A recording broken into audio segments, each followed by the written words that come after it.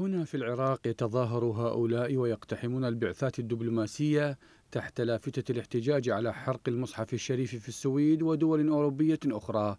لكن على مرمى حجر من هذا المكان تجري اعتداءات ممنهجة على بيوت الله من خلال السيطرة عليها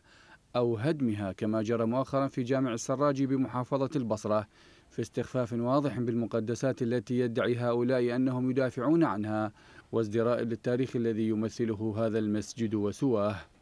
آخر عمليات السطو على بيوت الله تعالى كانت في منطقة الحرية ببغداد حيث جرت السيطرة على جامع دعاة الإسلام في حلقة جديدة من مسلسل طويل اسمه السيطرة على أملاك الأوقاف السنية وفي مقدمتها المساجد التي تعرضت العشرات منها لعمليات حرق أو هدم أو استيلاء تحت ذرائع واهية.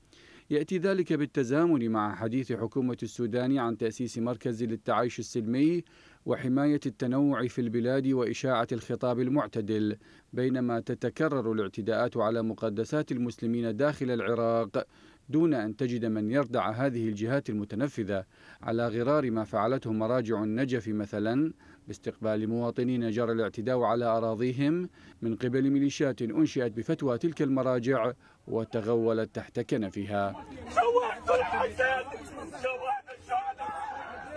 وبينما يوجه مقتدى الصدر دعوة لتبني حوار مع الدنمارك والسويد لنبذ التطرف وفرض احترام أعلام الدول لا يبدو أن العراقيين السنة يحظون بمثل هذه الفرصة من الاحترام والتعايش حيث تلتزم كل الجهات الفاعلة الصمت عندما يتعلق الأمر بالأوقاف السنية التي تتعرض للاستباحة منذ سنوات طويلة في ظل اتساع ظاهرة الإفلات من العقاب وغياب القانون الذي إن وجد فإنه يكيل بمكيالين.